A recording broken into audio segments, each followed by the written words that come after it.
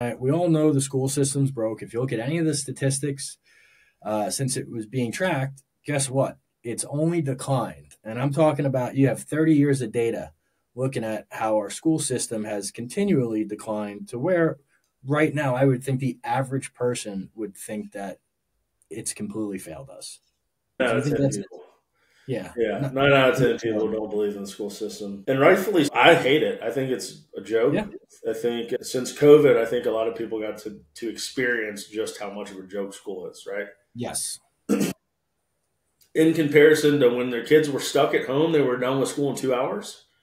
Yeah. We got to send them to this institutional building for six, seven hours a day to get two hours of education and 4 to five hours of fucking off. Yep. And whatever bullshit comes with it. Yeah, like trying to figure out if you got a, a penis or a vagina. Yeah. And so guys, first off, I just want to I want to preface this by saying that if you're a school teacher and you're offended by this, cool.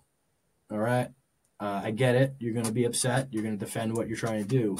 We're not attacking teachers here. We appreciate teachers. And honestly, most of the teachers that I have spoken with would agree that you guys are handcuffed. So even the good teachers that really want to make a difference struggle because of the limitations that are put on them by their uh, superiors, right? Mm-hmm. And I think that this is something that needs to get called out more.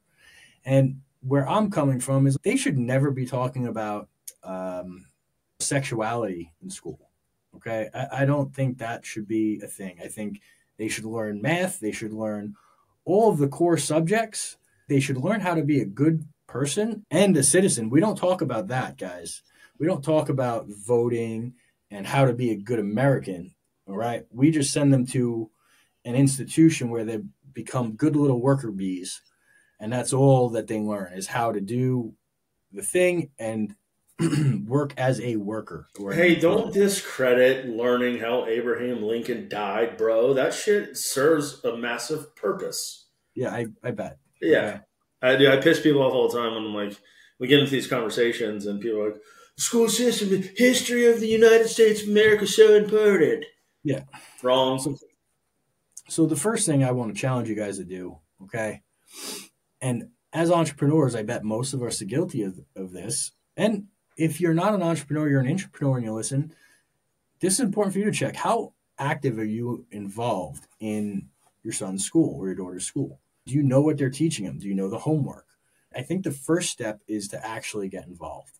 And one of the things that we did at the time when we wanted to get involved, because we wanted to check everything out when we moved here, is my wife applied and was on the school board for a year she saw everything was cool. They weren't teaching them anything that they shouldn't be. And so we knew that from high up. Okay. There are ways to get involved. And actually it's really not that hard. You'd be you'd be surprised how easy it is to get on a board.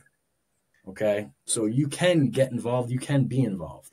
But now that that's where we're starting this, right? Get involved and know what's going on. What else can you do to outparent the schooling system? right? I'm going to give you a specific example I did with my son. And I can tell you, it really lit that entrepreneurial flame in him. Okay.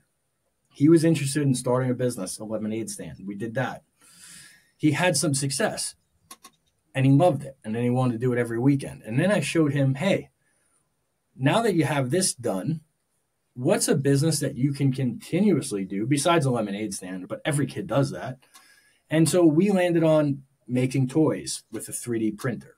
And so he started to do that. And we were able to, I was able to show him how to track inventory, how to track his costs, how to actually build it with the 3D printer, and how to sell it. And so now he has a little business where he makes all these toys and he sells them to people at school or after school. And he's learning all the ins and outs of being an entrepreneur. Not only is he learning, he's loving doing it Okay. It's exciting for him, it's fun for him. All right. So that increases how quickly he wants to learn about it. And he's learning real skills that's transferable in the real world. Okay. So that to me is a big win. And you don't have to do it with a 3D printer. You don't have to invest that much. What you have to do is find something in your, your child's interested in, take an interest in it and help him through it. And whatever that business decides to be, have him stick with it and learn all the ins and outs so he can actually understand the journey of entrepreneurship at an early age. I think that's very important. So don't get caught that. hustling at school because then you get a referral and suspended like I did for selling candy. Um, I'm shocked that hasn't happened yet, but it hasn't happened. I'm They'll ready. Find a way to shut it down, bro. They'll find a way. yeah, I hope they they better not call me or my wife because we'll both have the same answer. Yeah. All right. Yeah, uh, I'm, not, some... I'm not impressed, man. It is what it is, but I think yeah. most people just do just send their kids there because they're most households obviously two working spouses. They don't have the flexibility. So I get it, right?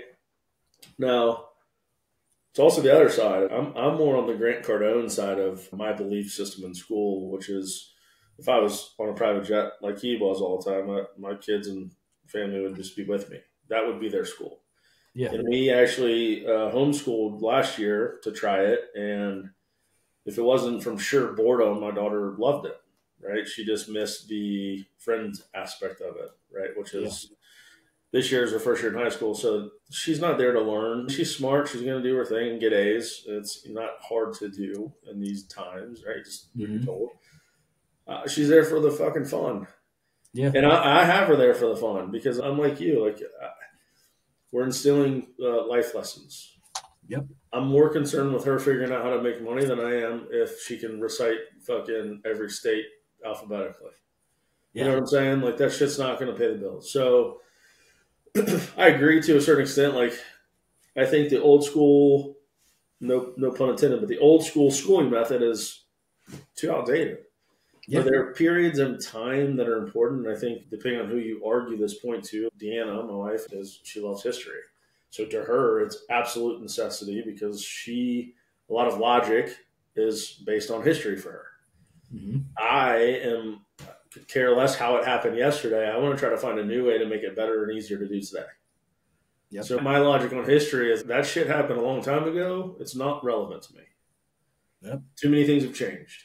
So we lead with that. Obviously, we want to instill for school for our kids. It's more of learning how to understand where you're at in your hierarchy of adult child, right? Yep all these peers are supposed to do what they're told unless it's a dangerous thing or not safe. Outside of that, they're not getting a lot. They get a lot of fluff time and fucking off. They end up getting more in trouble than they do any damn thing. Yep. So that's the other component to this is that you've got high schools have basically become places of fraternity, sorority hangout. Yeah, socializing. Here, I'm with you. Okay, and I do think most people view it that way but what habits are you teaching your kids? So here's one I will tell you. And if you followed me for any amount of time, but something I talk about is I've done 75 hard every year it came out. All right. My kids have watched me do that. Okay. What that means is when they were waking up, getting ready to go to school, they saw me coming in the house all sweaty, or they see me finishing my workout. And then they want to see what dad's doing. Right. And this is just leading by example. And when they figured out what I was doing, I'm just getting a workout in, and then they see me every single night reading before bed. They ask questions, and then I explain why I do it. And then they actually came to me and said, Hey, can we do this too? Of course you can. Here's how.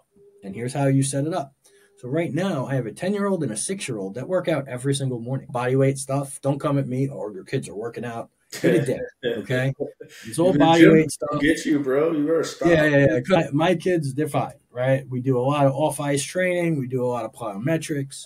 We do some cool stuff. And by the way, they read their own stuff at night. Uh, the six year old still needs a little bit of help, but that's normal. The 10 year old is reading full on novels and any book I put in front of him yeah. because he's been doing it so long. And he does it without, they do it without asking. But I'm going to tell you why because they saw me do it they thought it was really cool and they wanted to be like that. Okay. So they have these habits and now they're going to grow up with those habits cemented. Yeah. Okay. Which gives them a massive advantage over the rest of the people out there. All right. And that's not an easy, that's not a hard thing to do. It's not a hard thing to put together. And it's also why whenever my kids see me doing something for work or myself or to get better, and they ask, I tell them about it and right. I invite them to do it as well. Mm-hmm. Okay. Tell them, invite them, and don't force them, especially early on, right? Make it fun. If That's why I work fun, out solo. I've invited everyone I know, and nobody wants to show up. yeah, right. So that that's a big one. All right, because you want to focus on the habits that you're creating in your children. Yeah. What do you, what's one that you have that would help some of our listeners? And I just I'm different uh, because I've got 14 and 12 year old females. They're a little, yeah, older, different. So my oldest is just now getting into her competitive stage. My youngest is all about. She's just a homebody. She loves to relax. School's a lot for her. People are a lot for her. So her weekends and off time, she just she just leave me alone. I don't want to do anything, which is good and bad, right? Because you, you want to get your kids out and do stuff. But to your point, I'm also not going to force the card because I know what that will turn into later because of all the shit that my parents forced me to do. Yep. I encourage massage, but when it gets to a point, I'm learning right now how to just stay away, stay out of the way. Yeah. Because my girls are at the age now where it's less dad, more mom. And then if I'm too pushy, then it just blows the situation up. I think that to be a good leader, also, like it's not always, doesn't always have to be a teaching moment yeah. as a parent. And so, like, when you think about school and education and all these things tying together and how we teach our kids, there's some people out there who always want to teach, and everything is a teaching moment, and their kids resent them for it. And then what I'm learning right now, which I used to be that way, I used to try to, oh, that's great, but think of this and this and this and this, right? Now I'm just like, cool, awesome, how'd it go? And ask questions and don't dig and then leave so that I don't go to the old school, like try to help, right? because at heart it's just a it's just the the givers slash fixer mentality, mm-hmm. right? Mm-hmm. But the more that I hear, the more that I've been reading and seeing things, it's like, no, bitch, you're just trying to control the situation by teaching. You're saying that you're teaching, but you're really being a fucking psychopath, and overarching on your kids. So that's what I'm learning now. Is like, all right, cool. Is that how? If that's how you want to go after it, perfect. I'm here to support you if it yep. doesn't work out. And then throughout, when we're not on the subject, then I can go into my teaching. So now I'm teaching this thing that we talked about two days ago in a different environment under a different umbrella of something that you don't even know that I'm correlating. I like that. And that's, that's starting to work a little better. But then it's like, all right, the ticker's got to remember that. Yeah, there's a lot of shit to keep up here in storage. I've just been playing with a couple of different things because school itself, like you can fight it or not fight it. That's they're either going to get the GED or not get the GED. Yeah. Right. Yeah. College is probably a whole nother conversation. Yeah, that's a whole, other episode. Right. Yeah, that's another episode. Sure.